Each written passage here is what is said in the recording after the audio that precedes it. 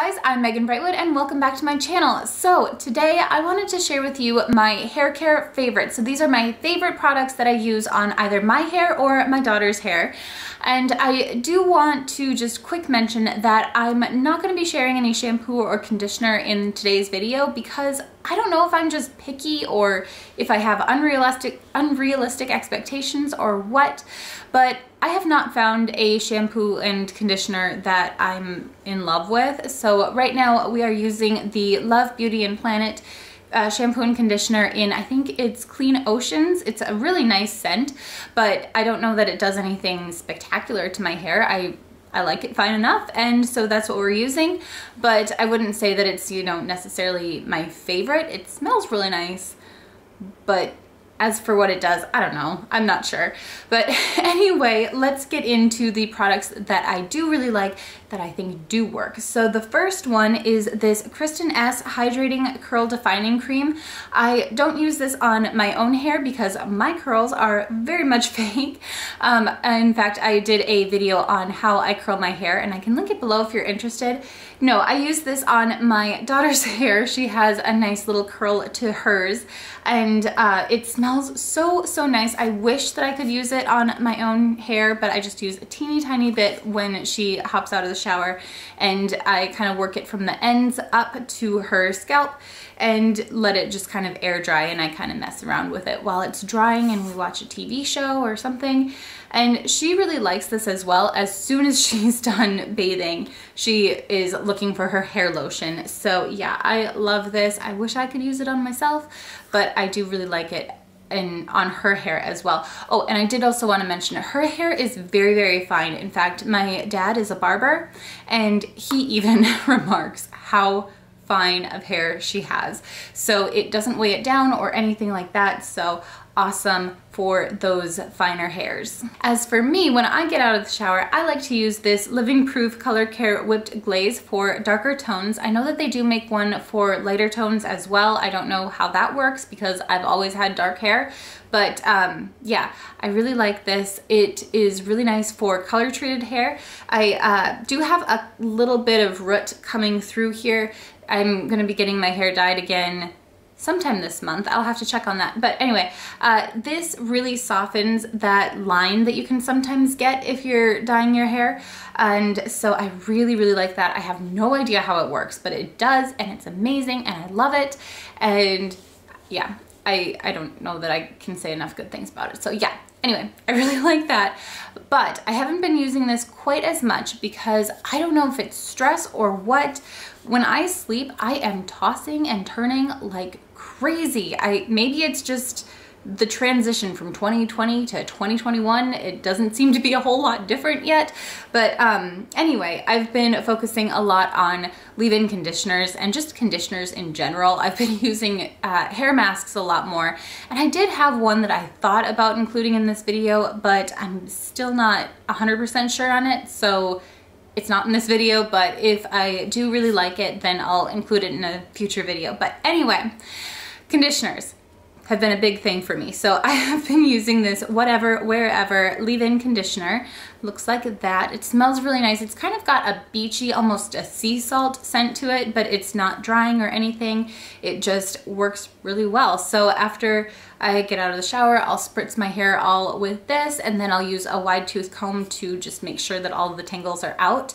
And um, most of the time, I just let my hair air dry. I don't know which is best, if it's better to blow dry your hair or air dry it. I've seen conflicting opinions on that, so I'm not really sure.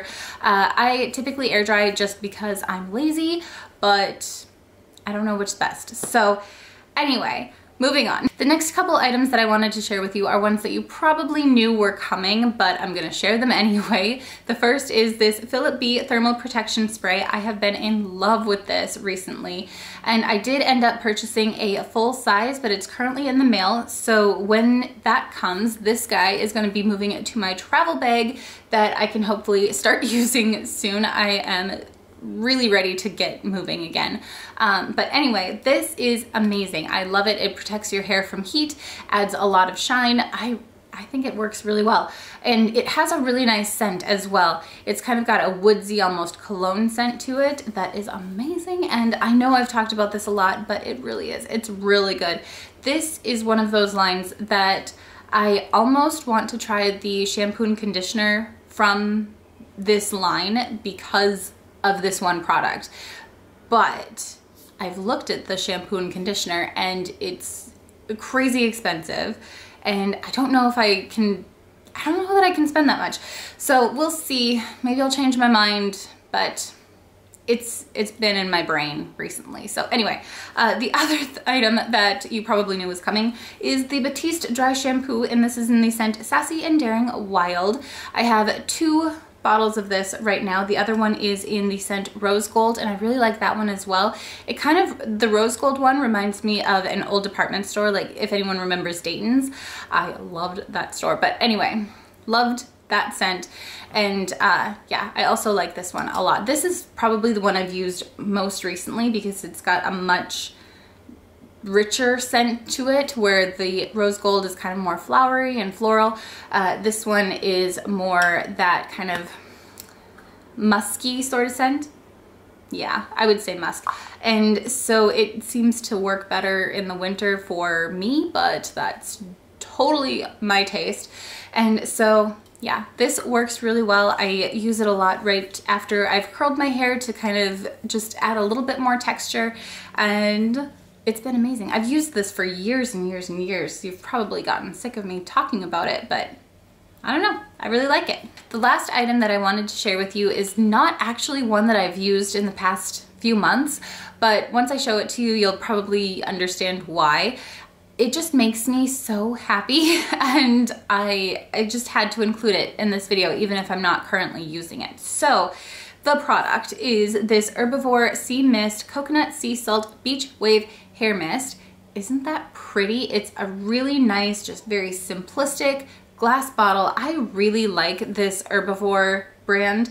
I had their um, Amethyst scrub too, and I loved that.